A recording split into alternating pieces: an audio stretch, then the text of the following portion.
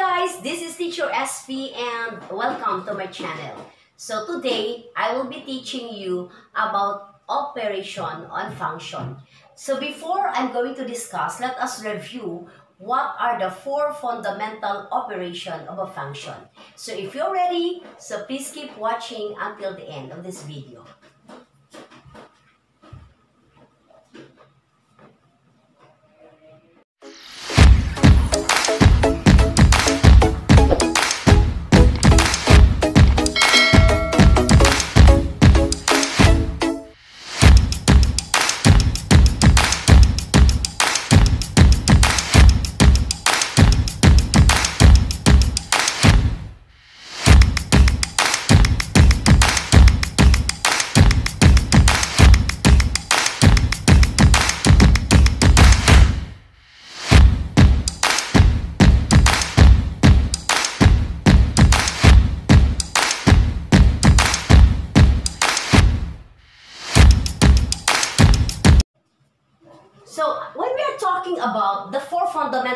Operations, guys, these are addition, subtraction, multiplication, and division.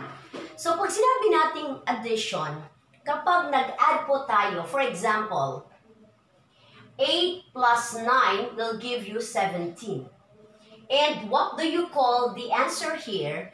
And that is the sum. So therefore, the sum of of x and g of x is defined as f of x plus g of x. Okay, so this is the formula for the sum. And if you are going to subtract 18 minus 9 will give you 7. And the answer for subtraction is the difference. So therefore, the difference of f of x and g of x is defined as f of x minus g of x. Okay? And if you're going to multiply 4 times 3 will give you 12 and the answer is product and therefore the product of f of x and g of x is defined as f of x and g of x. And if you're going to divide 16 and 2 will give you 8, the answer is quotient. The quotient of f and x and g of x is defined as f of x divided by g of x such that g of x is not equal to 0. Why? What happened if your denominator is 0? That the, the value is undefined. All variables, all numbers see to it that the denominator is not equal to 0. Why? Because if you're going to prove 8 over 0 is equal to 0, kung ang answer mo ay 0, 0, if you're going to check your answer, 0 times 0 will give you 0 and the answer is 8. Kapag ang answer mo naman ay 8, 8 times 0 is equal to 8. So that's why all whole numbers, all variables, and if the denominator is zero, that is undefined. You cannot define it. Okay? So ito na yung four fundamental operations of function. If we are going to use this in your equation, so when we are talking about function, uh, f of x and g of x. So for example, if I will be giving you an example, f of x is equal to x squared minus um, 8x plus 16 and the value of g of x is equal to x minus 4. So, ito po yung given, gagamitan po natin ng four fundamental operation. So, first we have the sum, which is f of x and g of x.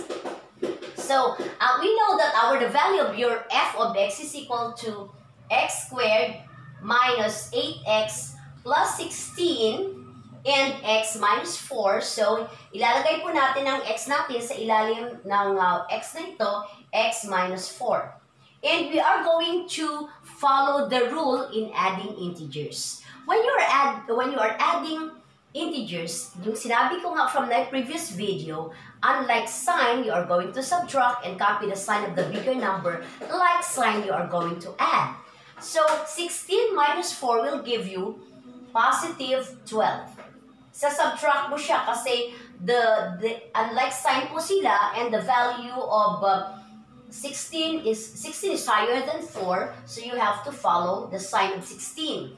And then negative 8 and positive 1, subtract and copy the sign of the bigger number will give you negative 7x. And uh, we have x squared. Bring down mo lang po siya ng x squared.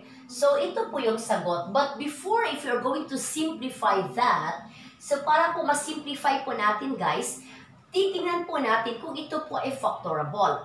Can you factor 12? Na if you're going to add is equal to 7. Can you give me the factors of 12? The factors of 12 are 4 and 3. So when we are going to say factor, multiply mo that is equal to 12. 4 and 3, 6 and 2, 12 and 1. Sa tatlo na ito, ano po yung factor ng 12 na kapag pinag-add mo is equal to 7? Di po ba 4 and 3? So if you are going to simplify this using factoring, then itong factor niya is x, ang factor niya ay x, factor ng 12 is 4 and 3, and if the sign at the middle term is negative, then all of this is negative. How are you going to check your answer? Using the FOIL method. So if you're going to use the FOIL method, x times x will give you x squared. Outer term, x times negative 3 will give you negative 3x. Negative 4 times x will give you negative 4x. So, pareho silang sign, then you are going to add. So, negative 4 and negative 3 will give you negative 7x, and 4 times negative 3 will give you positive 12, and that is correct. So, see to it that you are going to simplify your answer to lowest term and using the factoring. But if it is not factorable, then that's it. That is your final answer. Okay? So, another one, same example. We are going to use same example, but we need to subtract. Isa-subtract na po natin. So, same equation pa rin po.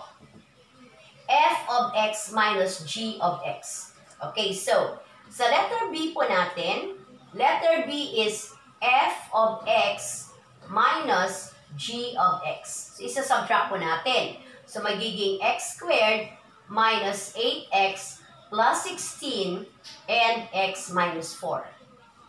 When you are subtracting a number, see to it that you are going to change the sign of the subtrahend before you proceed to the rule of addition. This positive will become negative and negative will become positive. Tapos mag-proceed to the rule of addition. Positive 16 and positive 4 will give you positive 20 negative 8 and negative 1 will give you negative 9x. Bring down x squared. And then check if, you, if it is factorable. So, ano ang factor ng 20? If you are going to add is equal to 9.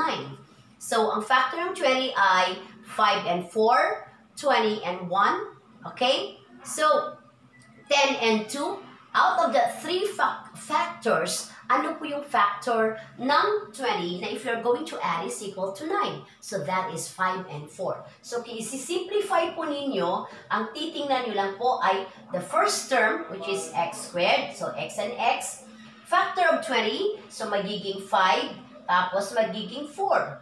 And the sign of the middle term is negative, so negative, negative. Therefore, ang factor nito ay x minus 5 x minus 4. Then check again using the FOIL method and if the answer is equal to this, your answer is correct. So this is now our final answer.